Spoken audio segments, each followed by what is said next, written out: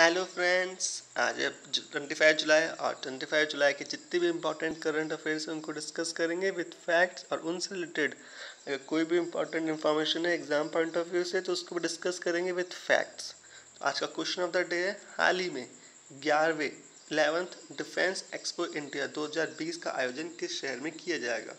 Option है कोटा जयपुर लखनऊ या इनमें से कोई नहीं। तो ये क्वेश्चन मैं अपने already previous daily current affair में डिस्कस कर चुका हूँ।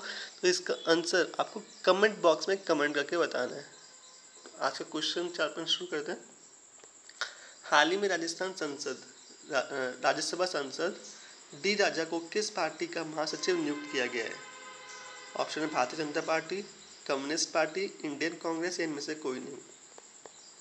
तो डी राजा को जो राज्यसभा सांसद है, उसको नियुक्त किया गया है। भारतीय कम्युनिस्ट पार्टी का महासचिव नियुक्त किया गया है। नेक्स्ट क्वेश्चन हाल ही में यूकिया अमानो का निधन हुआ है। वह किस अंतर्राष्ट्रीय संगठन के प्रमुख थे? मुद्रा कोष विश्व बैंक, अंतर्राष्ट्रीय परमाणु ऊर्जा एजेंसी या इनमें से कोई नहीं। तो यूकिया अमानो, वो प्रमुख थे अंतर्राष्ट्रीय परमाणु ऊर्जा एजेंसी के। नेक्स्ट क्वेश्चन है, हाल ही में किसने देश भर में अपनी संपत्तियों की सुरक्षा के लिए रिटायर्ड सैनिकों की नियुक्ति करने की घोषणा करी है? खेल मंत्रालय ने, बाल विकास मंत्रालय ने, भारतीय रेलवे ने या इनमें से कोई नहीं? तो अपनी संपत्तियों की सुरक्षा के लिए रिटायर्ड सैनिकों की नियुक्ति करने की घोषणा करी है भारतीय रेलवे ने। तो ये बहुत ही अच्छी इन्फॉर्मेशन है और अच्छी बात भी है कि जो रिटायर्ड ऑफिसर्स हैं, रिटायर्ड सैनिक हैं उनको नियुक्ति करेगी भारतीय रेलवे। सूचना ये है कि अगर आपको हमारे डेली करंट अफेयर्स की पीडीएफ चाहिए तो आपको हमारे टेलीग्राम ग्रुप के अंदर मिल जाएगी और उसका लिंक आपको डिस्क्रिप्शन के अंदर मिल जाएगा। नेक्स्ट क्वेश्चन है, हाल ही में एशियाई मुक्केबाजी संघ के, ये स्पोर्ट्स का क्वेश्चन है, और इसमें है कि इसमें पूछा गया कि एशिया मुक्केबाजी संघ जो है, उसके प्रतियोगिता आयोग के चेयरमैन किसे नियुक्त किया गया है? तो आज अपॉइंटमेंट्स के काफ़ी क्वेश्चन आ रहे हैं। और अपॉइंटमेंट्स के जो क्वेश्चन स्पोर्ट्स से रिलेटेड है, वो तो बहुत ज़्यादा इंपॉर्टेंट हो जाते हैं। तो इसका ऑप्शन है निरंजन थाने राजा देव किशन नरसी या इनमें से कोई नहीं। तो एशिया मुक्केबाजी संघ के आयोग के चेयरमैन नियुक्त किए गए किशन नरसी को। नेक्स्ट क्वेश्चन हाल ही में किसने द्वारा जारी की गई रिपोर्ट के मुताबिक भारत में आठ प्रतिशत से अधिक की जीडीपी वृद्धि दर हासिल कर लेगा? केंद्र सरकार, वर्ल्ड बैंक, नीति आयोग या इनमें से कोई नहीं। तो नीति आयोग के अनुसार भारतीय आठ प्रतिशत से अधिक की जीडीपी वृद्धि दर हासिल कर लेगा। ये नीति आयोग के अनुसार है। बट अगर अपन जो वर्ल्ड की जो ऑर्गेनाइजेशन है, अगर अपन उनकी रिपोर्ट के अनुसार चलें तो उनके अकॉर्डिंग इस साल जो अपनी जीडीपी रहने के चांसेस हैं, वो है सात प्रतिशत। और नेक्स्ट ईयर है, वो है सात पॉइंट दो प्रतिशत। और अगर अपन चाइना की देखें तो चाइना की जीडीपी गिरने के चांसेस हैं। उसमें इस साल उनकी जीडीपी रहने के चांसेस हैं सिक्स पॉइंट टू प्रतिशत और नेक्स्ट ईयर छः प्रतिशत।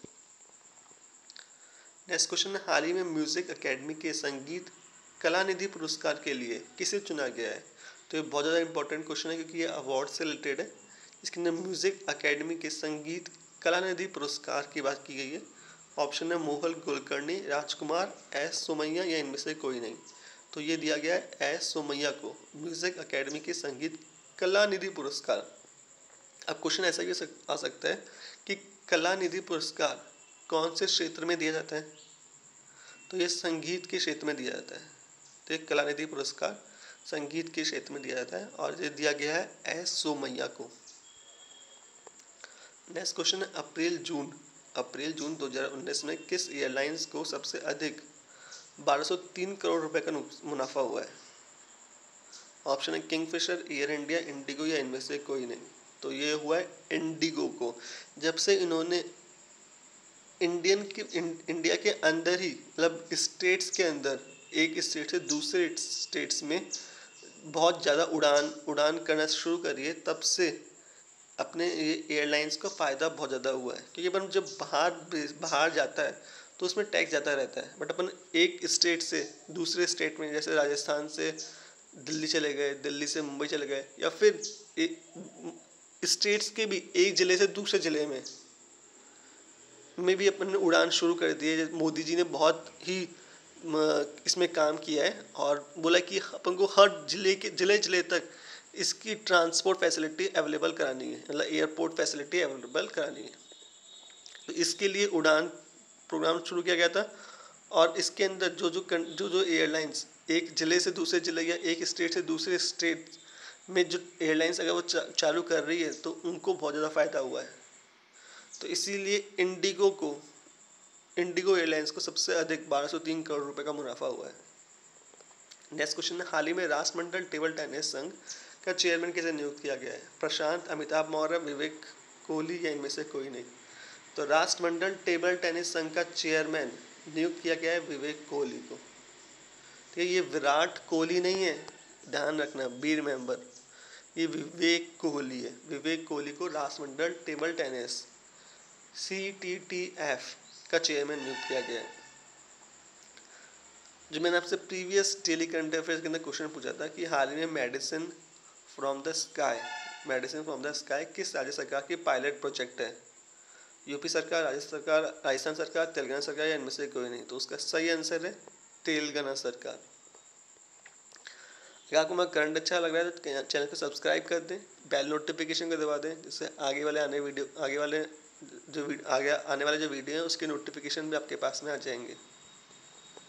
टेलीग्राम ग्रुप को ज्वाइन कर लें, इसका लिंक आपको डिस्क्रिप्शन के अंदर मिल जाएगा। तो हर करंट अफेयर्स बहुत ज़्यादा इंपॉर्टेंट है आपके एग्ज़ाम पॉइंट ऑफ़ व्यू से।